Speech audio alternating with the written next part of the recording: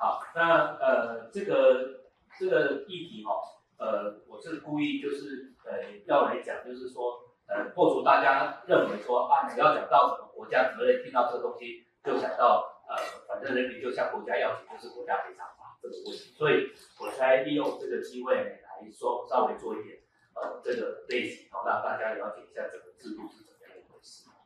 好，那我们的大家应该都是好像有电子档的这个资料哦。那我们这个就是分成三三块来讲，那中间说七点五十分到八点的时候呢，会休息个十分钟，哦，然后再继续。那呃，那这个整个就是这样的一个流程呃下来。好，那呃，我们现在就开始先从第一个哦，呃，理论基础，就是说国家责任的理论基础开始讲。首先，我们先问一个问题，就是我刚刚讲的，所谓的国家责任哦，这个叫做 Staatshaft，跟国家赔偿责任是否为同义词？那我答案是 no，哦是 no。那这个德文是叫 Staatshaft，然后翻译成国家责任，日本人也是这样翻，哦。可是日本人哦，他讲的就窄，因为日本人讲的比较窄，他提到 Staatshaft，他的确还是以国家赔偿，哦，国家赔偿责任为主，哦。虽然他也有意识到不是这样，但是他们就他们实务上，他们这个呃这个一般的这种，他们可能跟行政机关的往来的关系，真的还是以国赔为主，哦。所以所以呢。我们的就是先破这个前提，不是这个样子，不是上国家责任就是国家赔偿责任这样子。好，那原因何在？我们慢慢的来讲。哈，好，那我们先就几个领导的案例，我没有把那个案例列出来，是因为大家可以回去查。好，然后这个所谓的案例并不限定是司法的判例，我也把法条也写写一些法条在这里，让大家稍微知道说，哦，原来这些都是我要讲的这个范围。首先呢是这个最高刑九十五年判至十二一号判决。那如果大家在这个像法院啊什么可以去把这个判决拉出来，他会把那个这个案子哦，曾经也有跟一审啊什么这个整个就会拉出一堆的这这个这个这个就是相关的案例哦。然后呢，我所知道的呃，在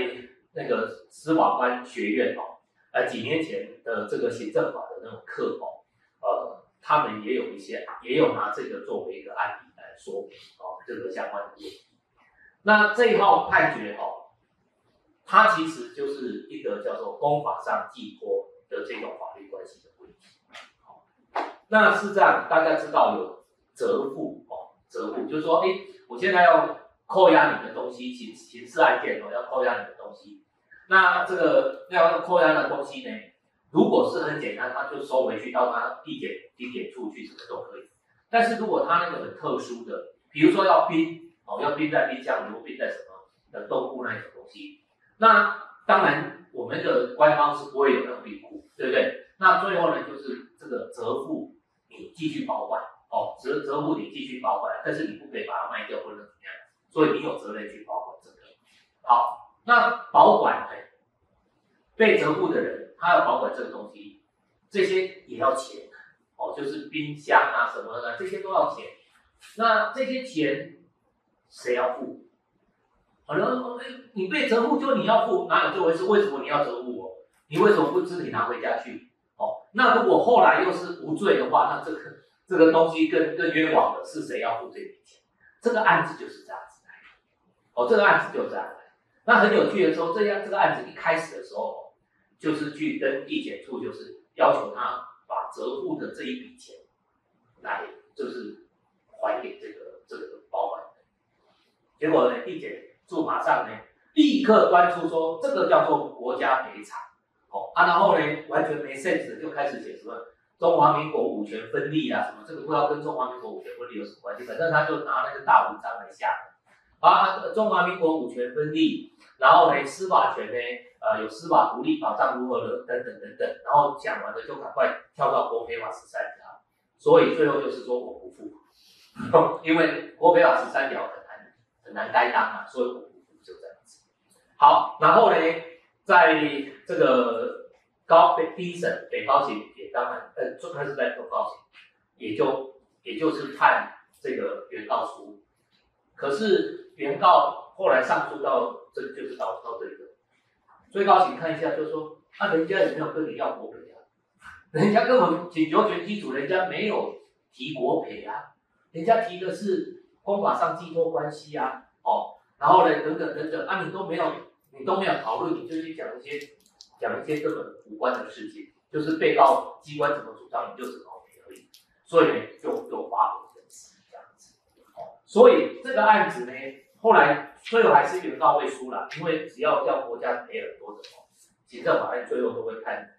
民那个原原告这边都会输哦，任何一个理由，反正就是非常的。后来他理由说怎么样？他理由就说，好，既然这个是内推适用民法，那那个那个寄托那个费用，寄托的费用那是短期时效，好，所以就说，所以适用短期时效已经过去了，就用这个方式给人家打掉。那所以这个案子无论是谁输了谁赢了，也就是说。像这个就很典型的，我们那个一种的所谓的吸反应、吸干，就是人家要向国家要钱，然后国家马上说这是国赔的问题，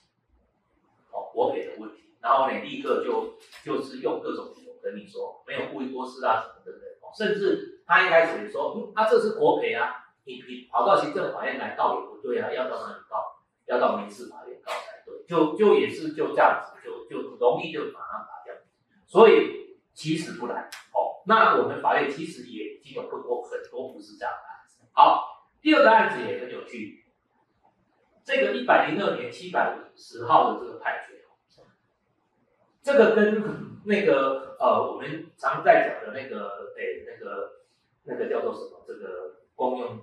利益关系那个呃就是继承道路那个有关哦。那可是我们一直走继承道路，它都是都判诉的，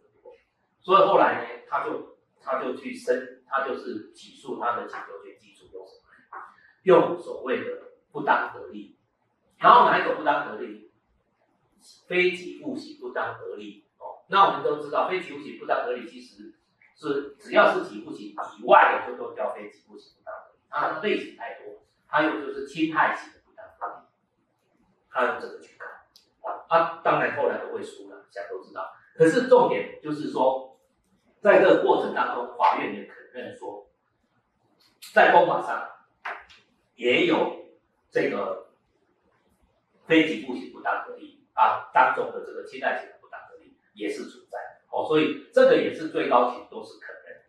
所以我们会发现，其实，在我们实务不知不觉在走的当中呢，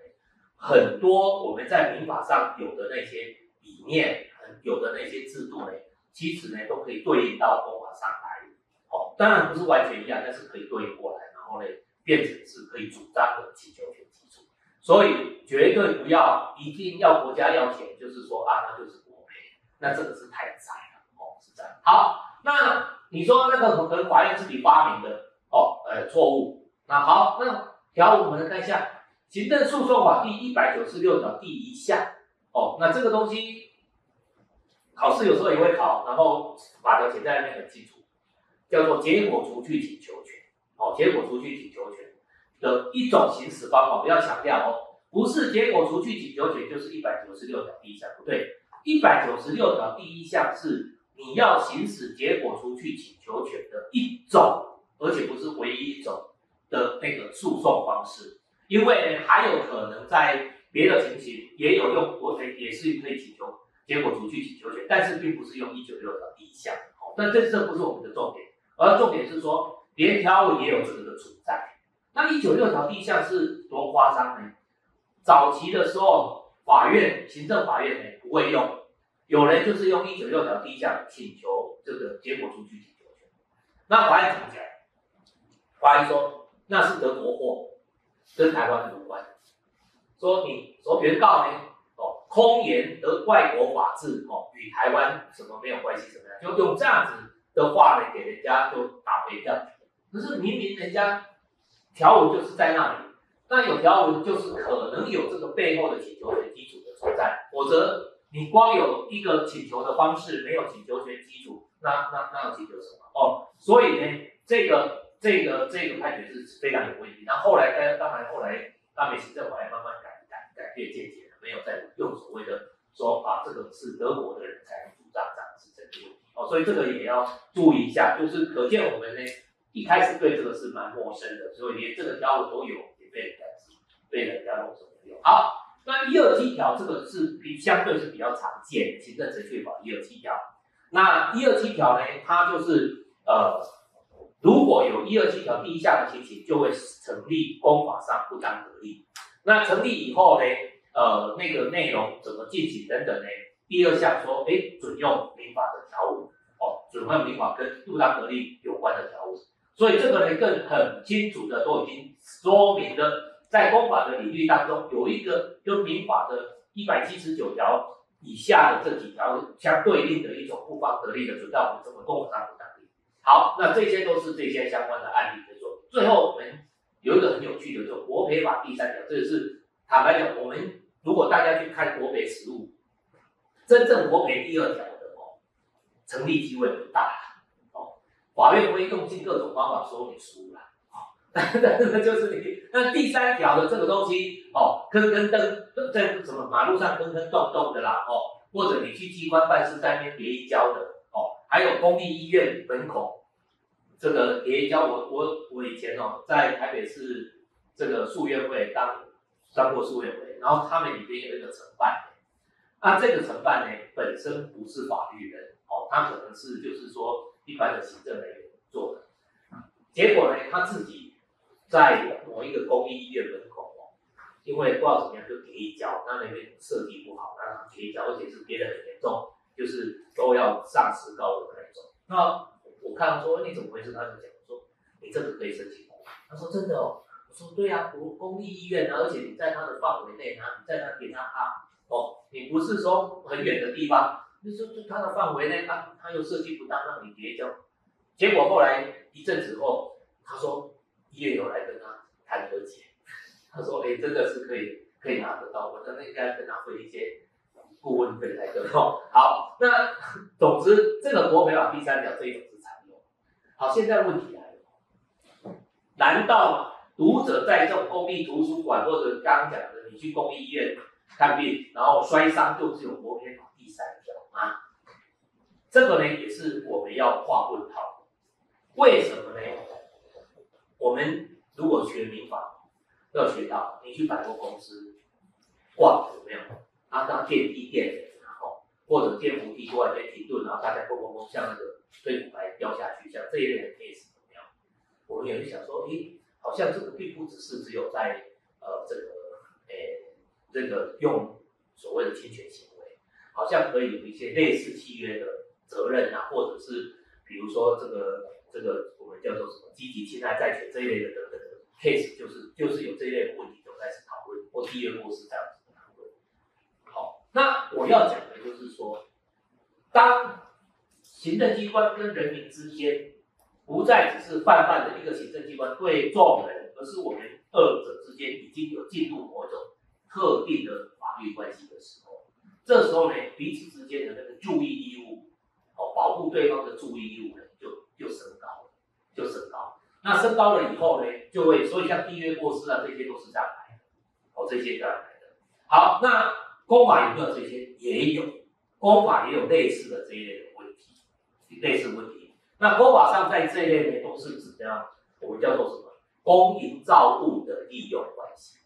哦，公营造物的利用关系，就是说你使用公营造物，哦，然后呢，在使用的过程当中，如果使用规则写的清清楚楚，依照使用规则来，那就 OK。假使没有的话，也不是完全用国赔用什么。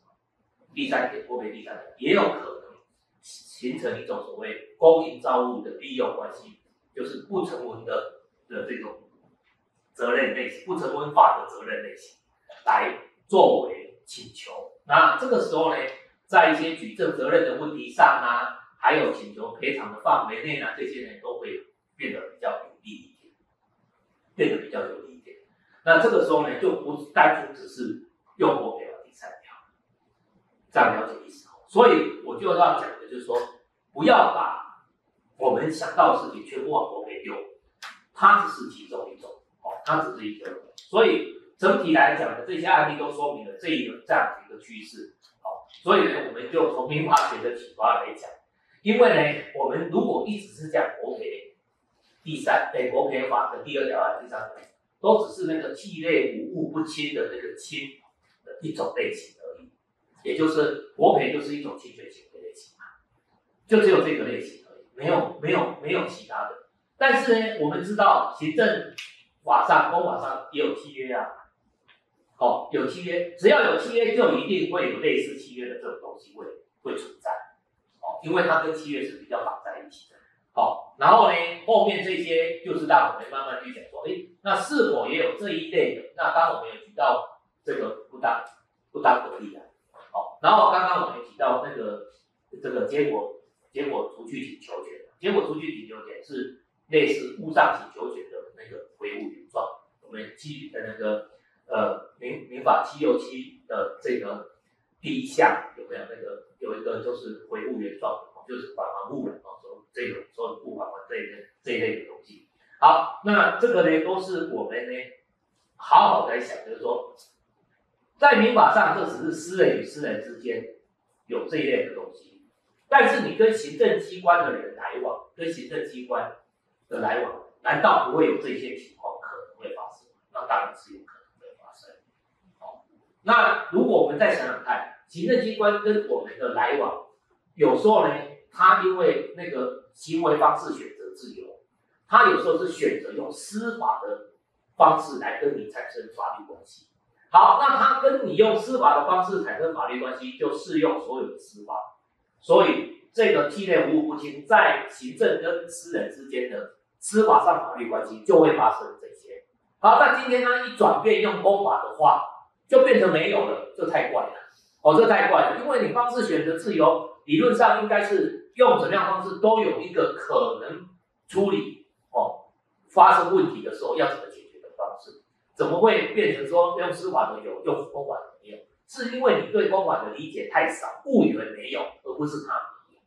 所以大家要建立的这个思维就是说，这个所谓什么替类无误不清这样的思维呢，绝对不是只有在民事法律关系有，在公法的法律关系当中都有这一类的问题也会发生。这就是我们在讲的国家责任的一个发想，就是存在。这个是特别要跟各位啊，这个在这里先做一个开场来的说明一下。所以我们讲的国家责任呢，我们先说哦，就是。国家责任这两个概念组合，那我们就把我们的国家责任的这个这个整个定义呢，哦，用先从讲讲什么是责任，然后再讲是国家的责任，然后呢来把它界定我们的范围。首先呢，什么叫责任？责任呢，这个我刚刚讲是一个 h a f t 哦，就是一个一个担保的意思哦 h a f t 在德文上就是一个担保的意思。那什么样一个担保？就是说，你有一个一个行为的存在，那你基于那个行为的担保呢，你要让这个行为所产生的有利跟不利的法律效果呢，你都要是在你可以保证的范围内，这个就是叫做担。那这个前行为也要包含不作为，但是但是呢，这又有点像刑法上在讨论作为不作为，不能够完全就是用自然的方式来看说啊我。我不动叫做不作为，动就是叫作为，不对。不作为的话，它比较特别。你不作为也要担保哦，一定是有一个一个程度的类型的不作为才算在内。好，那我们如果用刑法的观点来讲，就是说你应该是应该要做而没做，那才要担保。好，不然的话，我莫名其妙的坐在这边，突然间那边打架，说我要负责，这哪有这回事？哦，一定是我去开会。我去煽风点火什么，这才这才会轮到我要负责，否则两个人在那打架，我坐在那边怎么会有责任呢？哦，所以呢，不作为的担保跟作为的担保，哦，那个看起来都是担保，但是呢，它前提不大一样。作为，因为你已经出手，你有出手，很容易判断说这个出手上你是不是属于应该得到担保。那不作为呢，都要有另外一些前提，就很重要一个就是说，你有作为的义务的存在。哦，那这个作为的义务可能是。从宪法来的，从法律来的，从哪里来的？Anyway，就是有一个义务存在。好，那总而言之，总而言之，所谓的 haftung 责任，哦，它不是莫名其妙出现，就是说，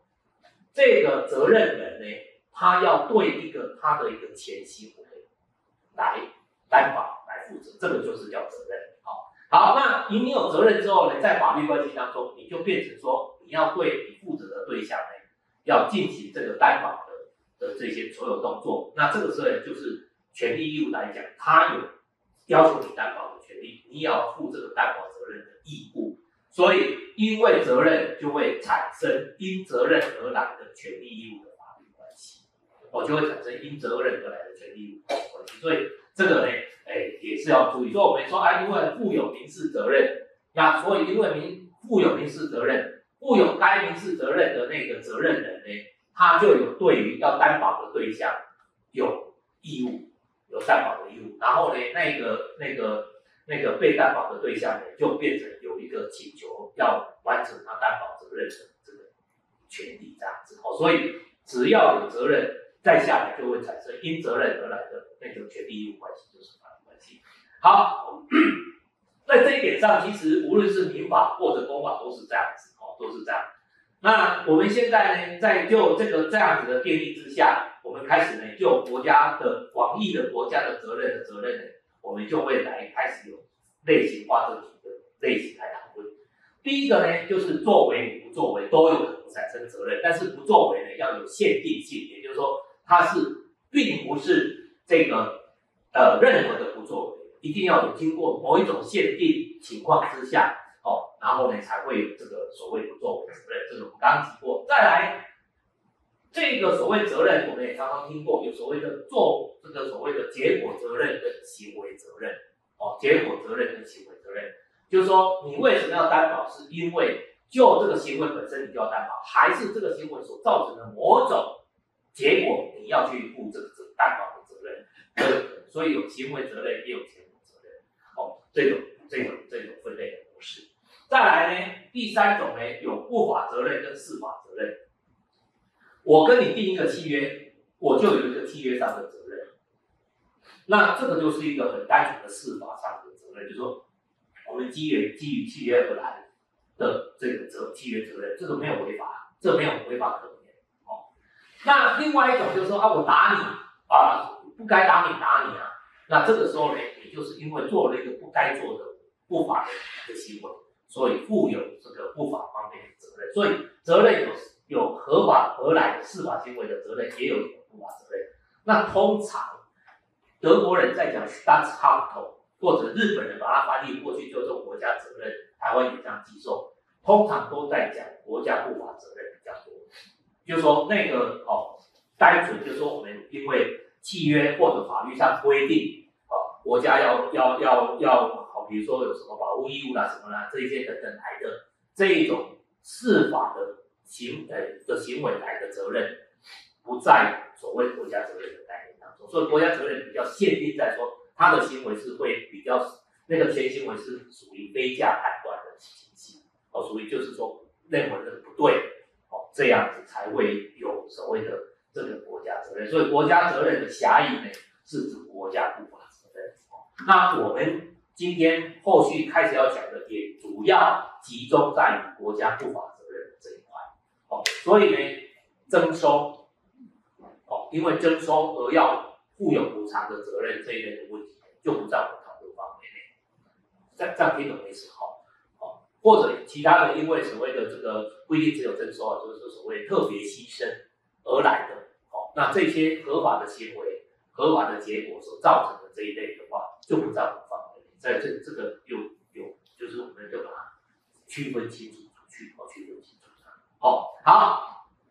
那再来，我们从刚刚讲的那个民法的观点对应过来说，我们还可以把这一种各种责任呢，区分为三大领域，三大领域。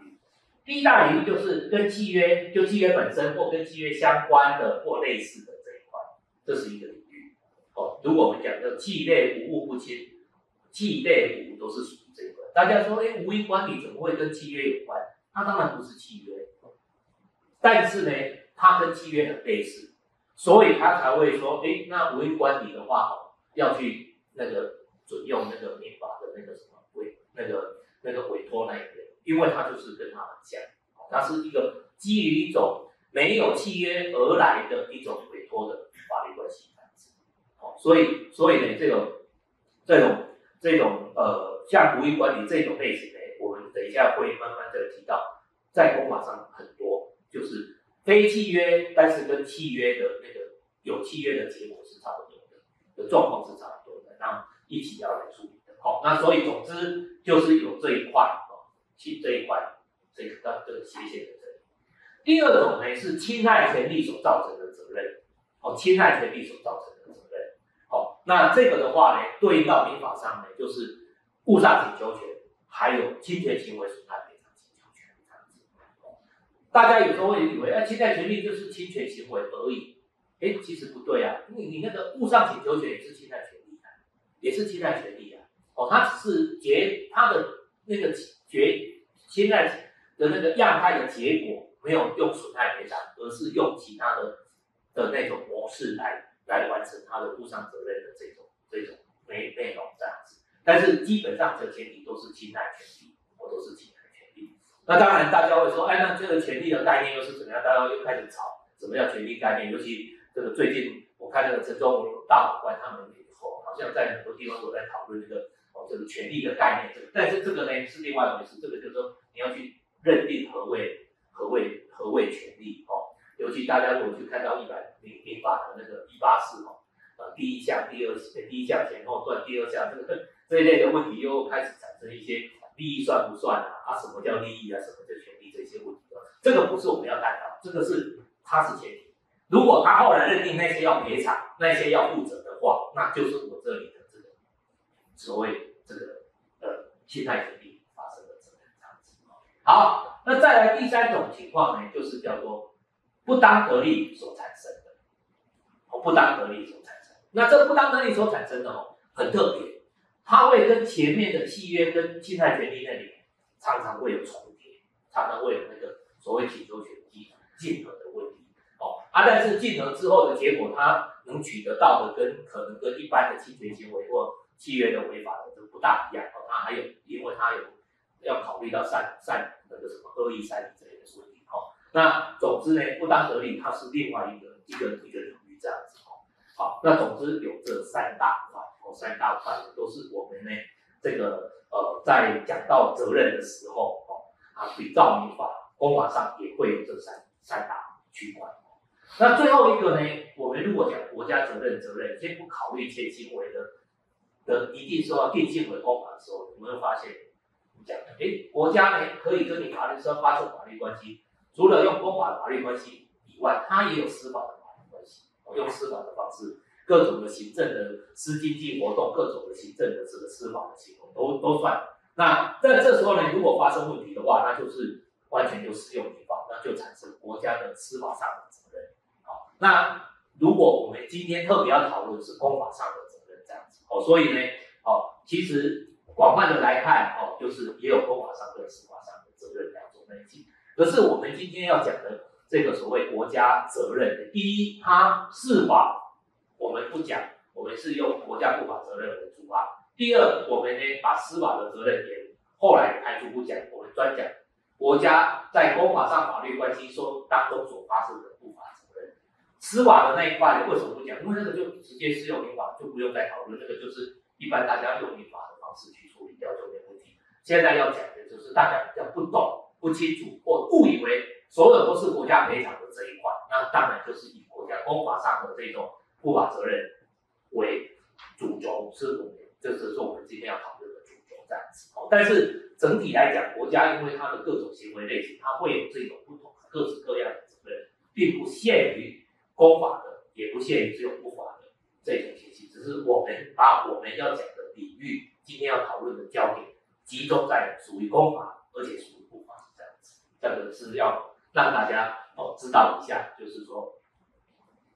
广义的跟狭义的哦，啊我们要讨论的都是好，这是从责任的概念，什么叫责任？就定义以后，然后产生的各种类型。哦，那这个是第一个，我们先讲何谓责任。第二个呢，我们再来讲国家的概念。好，国家概就是 Staat 的国家那个 start，。这个这个东西呢，大的呢，就是这是德文哦。但是呢，其实大家这个字也不会混，就英文的 state，就英文的 state，英文的 state 就德文的 stat，就就是就是就是字就是同一个同同源字啊，同源字哦。那听到 state 大家就比较清楚，因为这个字算是不是不是很困难，应该是国中一年级开始在学英文就会，还就就已经会出现了一个一一个字了哦。好，不过我们这里呢，在讲国家的这个翻译这个 state 或 state 呢，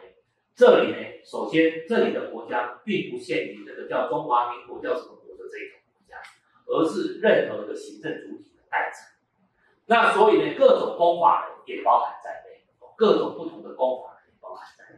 那以台湾来讲呢，台湾的公法呢相对比较，就是法制上承认的公法呢相对比较简单，就是整个国家以外还有各地方自治团体都是公法。那另外呢，